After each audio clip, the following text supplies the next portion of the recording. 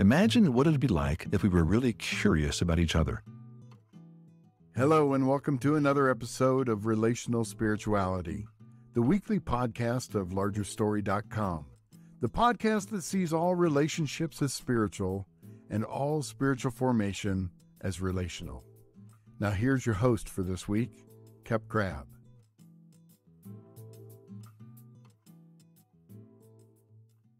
Welcome, and thanks for joining us today for the next episode of Relational Spirituality. I'm your host, Kep Crabb.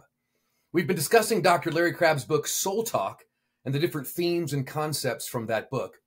If you don't have a copy or would like to get one for a friend, go to largerstory.com and get yourself a copy today. And in this episode, we actually get to hear directly from the author of the book, Dr. Larry Crabb, my father, in a conversation that he has as he's talking about Soul Talk. And I'd like to remind you that if you click on the like button or press subscribe, if you like what you're hearing and you're enjoying these podcasts. And now, Dr. Larry Crabb talking about Soul Talk. We welcome you into this series we call New Way Conversations, and specifically what every Christian counselor needs to know the seven keys to a spiritually forming conversation. I'm Jim Cress, here with psychologist and best-selling author Dr. Larry Crabb. And Larry, we are going to share some specifics, the seven keys to a spiritually forming conversation. We'll flesh them out over four programs, but we thought it would be good to do both an overview and then to run through what the actual seven keys are before we actually move into the actual conversation today. And I think there are seven keys, Jim. I'm sure there's 20 or there's two or whatever. But after all my years of talking to people, I've talked to thousands of people. I've been a counselor now, a psychologist for almost 40 years. And I believe that the core of every effective spiritually forming conversation is is a good relationship. Mm-hmm. It isn't a matter of techniques. It isn't a matter of expertise. It's a matter of relating in a particular way. So whether you're a cognitive behavior therapist, whether you're a psychodynamicist, whether you're a spiritual director, whether you're a pastor, I think beneath all of those issues, and a lot of those things are very helpful, but right. beneath all of those things, there are certain commonalities that define what a good relationship is all about and a spiritually forming conversationship is all about. And I want to think about those things with you today. You have come up with these seven keys to the spiritually forming conversation that all of us want to have with a loved one, a friend, a client, if it's in a counseling setting. And a lot of this has been, if, if we shall say, uh, distilled down from your week long intensive school of spiritual direction. This is not the course by any means, but we're t- taking the cream of the crop of this to share after being a psychologist for so many years, I have moved towards spiritual direction mm-hmm. because I believe that the core issues are always spiritual in nature. And so I've put together this one week course where I take 30 people for a week and we think about the whole model of spiritual direction. And as I sat down and thought, all right, what, what do I want to say to every Christian counselor? What do I want to say to every pastor, to every friend, to every spiritual director? What do I really want to say? I thought about the school where I teach a very basic model. Mm-hmm. And this is a distilled down, that's a good phrase. This is a distilled down version of that where the what I believe are the seven key principles, seven key ways of thinking about how to have a good relationship is what I elaborate on in the entire week. Right. But this is going to give Christian counselors a basic understanding, I believe, of what they need to know. Because when you sit down with somebody, and Jim, you're a counselor, when you sit down with somebody, no matter how good you are, and I know you're a gifted counselor, you're well trained. I trained you, so I know you're well trained. But you know what you're doing, and I know what I'm doing. I'm a pretty good counselor. But there's something inside of me that always faces the mystery of it. And there's something inside of me that says no matter how much I am committed to a cognitive behavioral model or a psychodynamic model or whatever, that there's an underlying foundation that we've got to be more careful to think about. So these seven key principles that I want to talk about today are ways of thinking beneath all the technical stuff that people do to what really is involved in, in, in developing the kind of conversation where the spirit can do his deepest work. And that's what I'm thinking about these these days in my spiritual directing mode. Some would say, let's take the phraseology of a spiritual director, just the name Christian counselor, that should connote something. There should be something there that is, if you're a Christian counselor, you're not just doing whatever secular or unsaved people do in their counseling office. So when we talk about spiritual direction, I'm assuming behind that should be really not my spirit so much as directing yours, but the Holy Spirit is involved in the process. Those are things that might be assumed and we go, yeah, that's right. But there's something very important that there is a there's a foundation here of all that we're saying. Whether you're a spiritual director, whether you're a Christian counselor, the Holy Spirit better be essential, Mm-hmm. or we're not Christian in our Right. approach. I recently went to a secular psychotherapy conference. I heard one of my heroes, Irvin Yalom, lecture. I heard David Burns, Stanford psychiatrist. I heard Colin Ross, who's one of the we're leading specialists in dissociative disorders. And I came away saying these guys have a lot to offer. I was thrilled that I went to the conference, but they're missing the key. They're missing the center of the whole thing. Yeah. They're missing the fact that the soul bears the image of God. The soul was built for relationship with God, and it's disconnection that causes all of these things we call psychological disorders. And there's got to be a reconnection to God. And maybe as a Christian counselor, maybe as a spiritual director, I can promote the purposes of that reconnection and I can get people back into relationship. I can't Right. do it, but the Holy Spirit can do it. And maybe that's going to deal with a lot of these concerns that people bring to Christian counselors as well as to spiritual directors. Well, why don't we just dive in? You, you have the seven different keys here, seven keys to a spiritually forming conversation. Again, what we said we do, we'd outline them, go through them, and then come. That's the skeleton of the whole thing. We'll put some meat on that skeleton as we go through the four different programs. When you're sitting talking to somebody who's struggling, I hope you keep in mind these seven keys. Key number one where's your client right now? I call it the red dot principle. We'll make sense of that later. Mm-hmm. What is happening in the counselee, what is happening in the person right now in the moment? Are you paying attention to that? Principle number one. Principle number two know what's happening in you. I call it the interior world principle. Mm-hmm. What's happening in me when I'm talking to my counselee? That's the second thing we're going to look at very carefully. Third thing, let a faith vision develop in your mind. The it's possible principle. Let a faith vision develop in your mind. Can I get a vision for what the Spirit of God is up to in your life?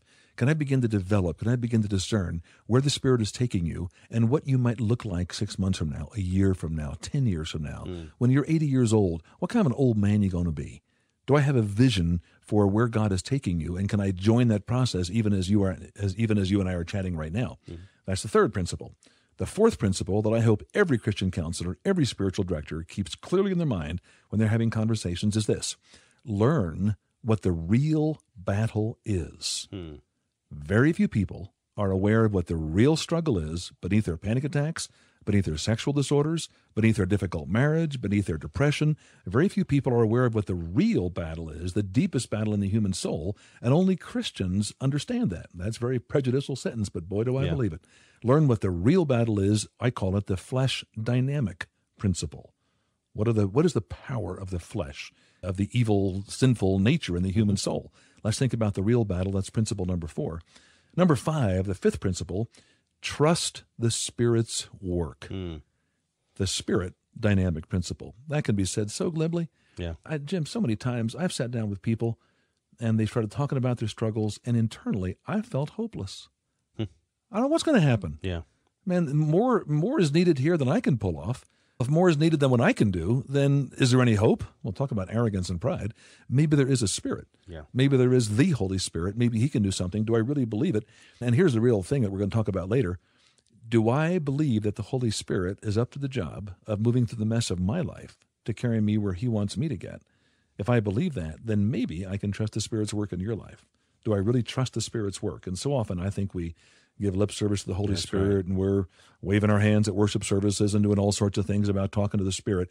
But is he really active in the middle of a conversation with the counselee? That's number five. Number six, enter the story with discernment. I call it the spiritual listening principle. You're going to tell me a story. You're going to tell me about your life. You're going to tell me about some of the struggles in your marriage, some of the concerns you have for your kids, some of the, the frustrations you're experiencing in your own spiritual walk. You're gonna you're gonna tell me about when you became a Christian and how it didn't go so well and how you had expectations that haven't been realized. Do I know how to listen when you talk? And that's more than a certain posture. That's more than sitting forward and tilting my head and saying, What does it mean to listen with discernment? Enter the story with discernment, the spiritual listening principle. And number seven, and this is where it gets exciting facilitate movement through the cycle of change. Does change really happen? I'm not sure if a lot of people believe that deep change in the human soul really happens. Yeah, if you're depressed, you can take an antidepressant and probably feel better a little bit. If you're going through some panic attacks, there may be some behavioral techniques to help you with that. If you're into sexual dysfunction, then maybe some accountability groups can really help you. But is there real change? Maybe you've changed your symptoms, but is there real change in the core of the soul? Are you a different person? Are you living out the power of the gospel? Principle number seven facilitate movement through the cycle of change. I call it the spiritual formation principle. Those are the seven principles. And we're going to think about them all in detail in this conversation series. And let me tell you why I'm excited about this, Jim. The reason I'm excited about this is, as I said before, I've been talking to people for a long time. Mm-hmm. And I've been talking to you a fair amount. And you struggle here and there just like I do. Mm. And have you changed completely? No more than I have. But is it possible that when you and I sit down for a long cup of coffee, as we're going to be doing in the next day or two, and we talk about some of the struggles in your life and I share some of mine, is it possible that our conversation could actually be powerful? That something could really happen? Yeah. I believe with these seven seven principles, if they're embedded in our minds and if the listeners to this series think about it and ponder it and reflect on it and ask whether they're living out these principles or whether they really believe them, if they move in the direction that I'm suggesting, I believe our counseling practices, our spiritual direction practices, can be transformed into something really exciting and really powerful. So, this is what I believe every Christian counselor needs to know the seven key principles of spiritually forming conversations. And this applies to let's go through a list. Therapeutic or counseling session when you're doing as a professional so to speak. Pastoral counselors. Pastors who are maybe counseling in a setting where they are having a number of people come in, maybe the same ones come back from time to time. Stephen, maybe you could go through all the different lists. Any person listening today in any venue can, so to speak, put these into practice. Add to that small group leaders. Yeah. Add to that husbands and wives. Add to that a parent talking to his teenage Wow. kid who's Yeah. struggling. We're talking about conversations. We're talking about words passing back and forth between two people, whether in the role of therapist or anything else. But particularly, we're talking about those that are arranging conversations in particular, like in psychotherapy, like in counseling, like in spiritual direction. But you're right, the application's all over the place. This, these are principles that I think grow out of a Christian worldview, grow out of Scripture, and can help anybody in any setting make a real difference in how powerful the Spirit of God can work through them in somebody else's life. Speak to for before we get into some of these uh, specifics, we may just cover just the one on today's program, but the person who maybe has gone to a convention, maybe they picked up this CD set at a convention, a counseling convention, and they have got, they've received uh, different coursework they've taken, uh, CEUs, they've gone heard this speaker and that speaker, and they'll say all of them were even Christian presenters. And they've read this book and that book, et cetera, and they've really studied well. And they come to your material, the material on this CD set, and they say, okay, how the, these seven keys to a spiritually forming conversation can make a difference in my counseling ministry. Whatever a Christian counselor needs to know. And they almost have a checklist. I'll go through this, and maybe this will be it. This will finally be that missing link. What do you say to that person? I have a couple of responses to that person. One, if you're coming to this series and you're thinking you're going to find out the answer, and you're regarding this as the next thing that you hope will do it for you, Right. take the CDs right now and throw them in the waste can because this will not do it. I'm not making that promise.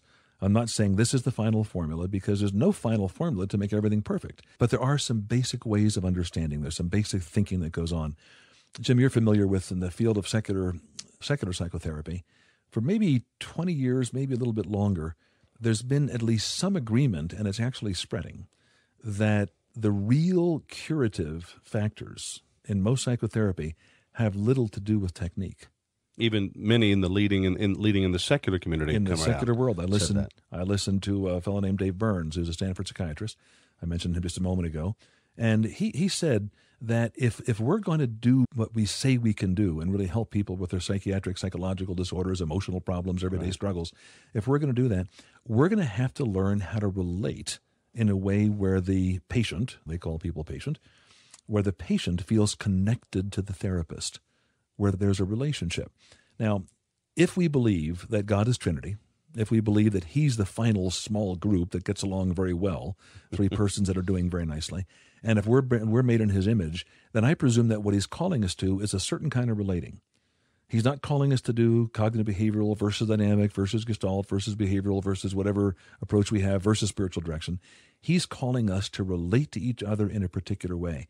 And I think the person who picks up this CD set needs to say to themselves, whatever else I'm doing, and there may be value to all the things that you're doing. But if these don't define what's happening in you and the way you're thinking as you're relating to somebody, then you're missing out on what Christianity offers to the change process. Let's do number one. You talk about this red dot, and you said you will come back to it. Uh, you want to find out where your counselee is right now. Again, the red dots. The red dot. Let me explain the phrase. Everybody's had the experience of walking into a um, big suburban mall with which they're unfamiliar. They don't know where they are. They're they feel when they walk into the mall the way most therapists feel when they begin a session. I don't know what's going on. I don't know where to go. I have my roadmap. I have my training. I have my degrees. I have my system. But this is an unfamiliar mall. One of the things that I've learned so strongly is that I can come in with my theory, but when I sit down with an actual person, Yeah. they always contradict my theories. Mm-hmm. It just doesn't work. They I work can- well in the laboratory, but you get out in the real world and Give me a lectern in an audience and give me a blackboard and I can teach up a storm. Give me a real person, it's a whole different story. Mm-hmm. A real person to think with. So when I walk into a, a counseling situation, it's like a person walking into a strange mall. So what's the first thing you do? First thing you do when you're walking into an unfamiliar big mall is you look for the directory. right. And on the directory, what do you look for? You want to know where you are, so you look for the red dot. And the red dot has a line going to it that says, You are here. Mm-hmm. The first principle is when I sit down with a client, when I sit down with a counselee, and again, I'm not comfortable with the words. I hate the word patient. Uh, client sounds like a consumer thing, so I'd rather call it having a good chat with a friend, but Yeah. doesn't sound very professional, but that's how I think of it. So there's this person coming in, George, Sally, Pete coming in, sitting down with me, and we're going to start having our conversation. I say, Tell me what's going on. How can I be of help? And they begin saying, My marriage isn't so good. They begin saying, I've been struggling with some depression, and I'm just feeling out of sorts, and I don't know what's going on, but Uh, I need to, you need, I need to have some help. I had a child die a year ago, and I'm still in grief over it, and I can't recover from it. And they're telling me all these things. But I want to know something more than what we commonly call their presenting problem. Mm-hmm. I want to know the red dot. I want to know where they are right now. I believe the key is an authentic encounter with that individual. I don't want to sit there like some doctor, like some medical physician, who, when the patient says, My throat is sore and my head hurts, and here are my symptoms, and I have a fever, and the doctor says, Okay, I'm hearing what your problems are, and on the basis of hearing your presentation of problems, a couple of tests that I've run, here's my diagnosis, here's my prescription. That's not how a counselor works. A counselor has to meet the counselee, and he needs to meet them in the moment. I need to know where you are in the moment. I need to know what your red dot is. How are you feeling right now? You're talking about your bad marriage. What comes to your mind right now as we're talking about it? What are you feeling as you're sitting in front of me right now? Are you discouraged?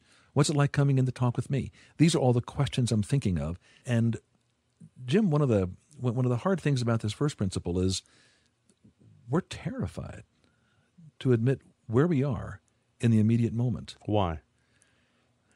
Once I admit where I am in the immediate moment, once I admit who I really am, I'm not sure what you're going to do with it. Mm-hmm. There's really a fear, there's a terror that if I let you know, if I let you know really honestly that in the core of my soul at any given moment, there really is a bunch of neurotic, ugly stuff. There's insecurity, there's irritability, there's frustration, there's terror, there's anxiety, there's resentment, there's anger, there's bitterness. That at this particular given moment, there's a lot going on inside of me. And there's a lot of things I want to hold back from you. I don't want you to know me mm-hmm. because I'm so scared that if you really knew me, that you wouldn't want me. Yeah. Because one thing I've learned as a kid, and every kid has learned it, you be really honest, you're in for trouble. And maybe the word grace means so little to us for that reason. We've never tested the theory of grace, if you will. Am I willing to be honest with where you with where I am with you right now? And for the counselor, and here's the principle I want the counselor and the spiritual director to grab hold of, that your client is terrified to let you know exactly where he or she is. Therefore, your mood toward that client has to be one of, I really do want to know. And I want to know because I value you. There's nothing that's going to topple me. I'm not going to back away from you no matter what you tell me because I have a confidence, not in you and not in me, but I have a confidence that whatever the mess is in your life, God can carry us both through that mess to a vision that He has for you. Now, if I believe that, then maybe you're going to catch the vibes. Maybe you're going to smell the aroma mm-hmm. of acceptance. And maybe if my attention toward you is powerful and profound, and I'm sitting here not trying to figure you out, I'm sitting here not trying to think of what to say next, But I'm sitting here saying, I want the incredible privilege of entering your battle. I want the incredible privilege of knowing your soul. This is going to be the safest place you've ever known in your life, and I want to provide that for you. There's nothing you can say that's going to make me withdraw from you. Nothing you can say that's going to put me on edge, that's going to make me feel anxious. Oh my gosh, what do I do now? But I simply want to be with you. I want to give you my presence. And if I'm able to do that, if that's my mood toward you, then maybe at some point, and it might be an hour, it might be a year Mm-hmm. before you really share honestly with me your red dot. So I want to know where you are. That's crucial. Because that red dot, by the way, is a window into everything else you're going to discuss. Because if you hold something back from me as my counselee, if you don't tell me what's happening in you right now, that right now you're scared of me, you've been talking to me for 15 minutes, you don't like me, you feel unsafe with me, if you hold back something from me, then we're never going to get to where the real action is. We're going to be skirting around the relationship that's going on between us. We've got to get profoundly relational if our counseling, if our spiritual direction is going to make the difference that both of us want it to make. Eh, say for a moment what the difference is and what everything you've just said for the counselor listening right now who says, but Larry, probably all of us have been trained that the presenting problem is seldom ever the real problem. So we get it. We get your point. Someone comes in and shares something and they think it's, I want to quit acting out sexually. I want to quit being depressed. Uh, I want to have a better marriage. And they'll say that's the presenting problem. So many counselors, why I'm going this direction is I, I fear of someone thinking, okay, I got your point but there's something far different about that red dot and then how early on in counseling if you're going to meet with someone for several sessions do you do it each session it's the idea of trying to understand and is it something you're just discerning right away in your soul wonder where their red dot is what's going on for them right now and then what do you do with that information once you perceive it Yeah, you're right. Everybody who's been trained knows that the presenting problem is not typically the whole picture, it's just the tip of the iceberg. And typically, what I think oftentimes counselors do, they hear a person present their concern, and then they want to go deeper into the person's psyche. They Right. want to go deeper into the person's psychology, into their emotional life, into their background, into their history of sexual abuse, whatever the case might be. a basic a psychodynamic approach right That would and be that, common. that can feel dare i say it exciting Oh, okay yeah. now we've got somewhere to go Yeah, it can give me some sense of a roadmap. But maybe the basic point that I'm making here, and I think this is a hard point to grasp, so I, I hope you're going to listen carefully as, as you listen to my, to my words, that the thing that everybody is most terrified of is an immediate relational encounter. What is happening in you right now in the context of our relationship? Not what secret are you hiding from me? that's different Maybe you're going to share me with me that 10 years ago you actually raped somebody. That might be very hard to share. I can hear that. But if a person said to me, Dr. Crabb, I, I, I've got to be honest with you. I, I feel like a, I feel like an awful person because 10 years ago I, I actually date raped and I feel terrible. My thought is we haven't gotten to the red dot yet. as right there, someone could say, "Okay, there's the red dot," and I knew trying to set you up for this to say you know, that that's not the red dot. So I wonder what it is. I wonder what the listener is thinking right now. Where do they go from there? You wish you could have on this tape, which you don't want to do, but about a two minute pause where we don't say anything. Of course, it is on a CD. They could hit pause and think about it. That might do some of you good. To hit the pause button and think, okay, what is this red dot? And then we're going to continue though right now. And what are you most curious about?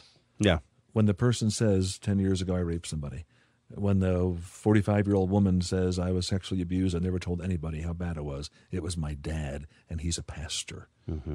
as soon as they share this horrible secret whatever their issue might be what are you most curious about hmm. do you want to hear the details of what happened when she was 10 years old and her pastor dad moved toward her in very sinful wrong ways do you want to hear about the rape and what led up to it? Do you want to hear about his internal struggles? Do you want to hear about how he felt inadequate as a little boy because his dad was never there for him and he wanted to find the, the power of being aggressive over a woman that led to the date rape? Is that what you're after? Maybe eventually, but that's not the red dot. Yeah. The red dot is what's it like to share that with me right now? What's happening in you as you're telling me that right now? What are you reading in my eyes? What is going on inside of you right now in this immediate relational encounter? That's where you take the conversation to a whole different level. That's where a certain level of productive intensity takes place, where all of a sudden it's not, I'll share all my secrets, doctor, and you tell me what to do about it, but it's rather, I'm sitting with another human being and what's happening inside of me in the middle of this encounter is something that I'm terrified to even talk about. And it's much harder to talk about that what's happening in me right now than it is to talk about my horrible secrets. That comes much closer to what I mean by the red dot. What's happening in the immediate relational encounter? You just really set me up for my next question I want to ask you, and that is just as you were describing all that, I'm thinking, what does this require of the counselor? To do what you've just described, to be present. And sometime along this series, I want to talk about all of us dissociating from the moment. We all know that is this clinical word, but how we aren't there, we aren't present with what's going on. What does this, if we do what you've just said, what does this require of us, or what's this going to do in us? If a person begins to talk honestly about their life, that's going to scare me. Okay. As a person, I'm as scared as they are of my red dot encounter. Am I willing to say, am I willing to believe, and this is what I think is required of me, am I willing to believe that the core of all profound change is an authentic relational counter. And authenticity works both ways. That am I willing to be authentic enough that when you tell me something like, I just told you a very deep, dark secret, and I saw you look away, and I'm just terrified that you're judging me. Mm. That'll be a red dot sentence. And am I willing to be authentic enough to look into my own heart and say, Was I so turned off that I backed away from this person? when I heard that this person sitting in front of me is a rapist, Jim, I can recall working with with a client years ago, a young woman who was uh, struggling with all sorts of relational things. It took her nine sessions to tell me she was a prostitute. I had no idea she was a prostitute. And now I'm looking at her as this prostitute, and my mind didn't go to Jesus talking to prostitutes. Yeah. My mind went to this is disgusting. This is awful. My mind also went to I wonder what she's like as a prostitute. Almost salacious detail kind of salacious stuff. detail. I was curious about that. And I had to be very authentic within my own heart. I didn't tell her all this. Of course. But I had to be very authentic within my own heart and say that, is there something in me that backs away from you? And we actually talked about that. And when she said, as I've told you, I'm a prostitute, and that's my worst secret, but my worst terror is not that I've been a prostitute. My worst terror is, what are you going to do with it? Mm-hmm. Right now, I'm scared. Right now, I just thought I saw your facial expression change. And my response has to be, I wish I were as good as Jesus. There's something in me that does tend to back away.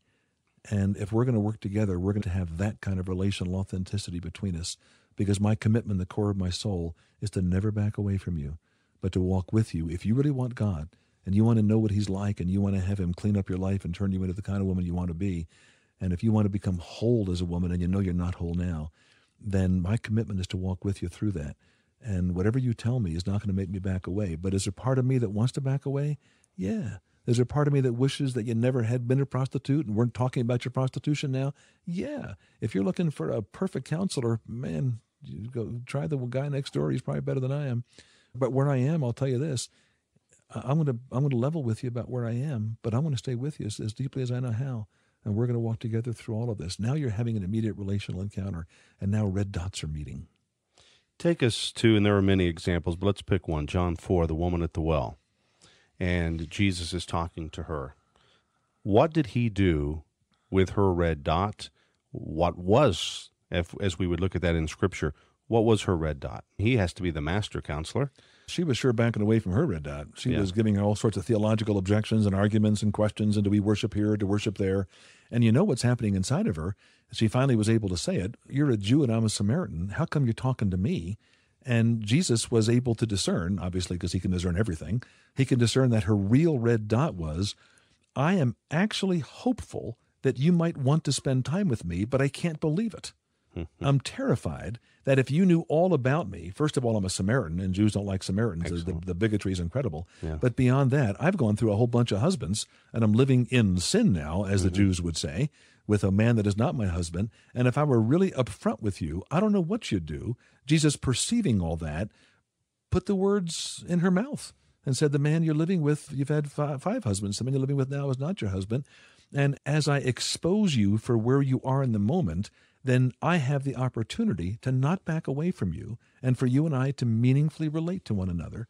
And as I can move toward you in the middle of who you really are, it's going to change your life. And we're going to stop all this theological discussion uh, that, that you're using as a smokescreen. And I'm going to bring you the real theology of a father in heaven who's looking at you and saying, I want you as my daughter. I want you as my child. I see a beauty beneath all your ugliness, and I have a way to forgive all your ugliness and to bring out your beauty. And that's essentially what he was saying to that young woman.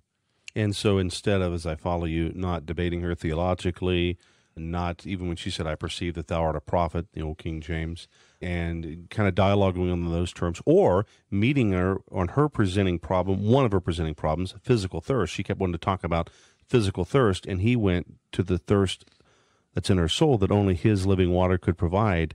Talk about. I, I'm I'm thinking as we end here, this Christian counseling piece. Either we're Christian counselors or we're not, and if we are, we might just mess around and talk about the presenting issue, or we think this is the red dot, physical thirst, instead of the soulish thirst that someone has. Can, can you imagine if Jesus said, It's pretty clear you need marriage counseling?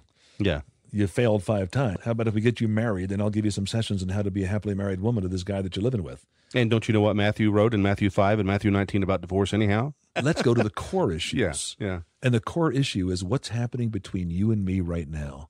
What is the mm. deepest mm. need of your soul? Yeah. What are you most thirsty for? And that's what I want to provide you. A Christian counselor or a Christian spiritual director wants to know that where the person is in the immediate moment relationally, what is happening right now between me and you as we relate.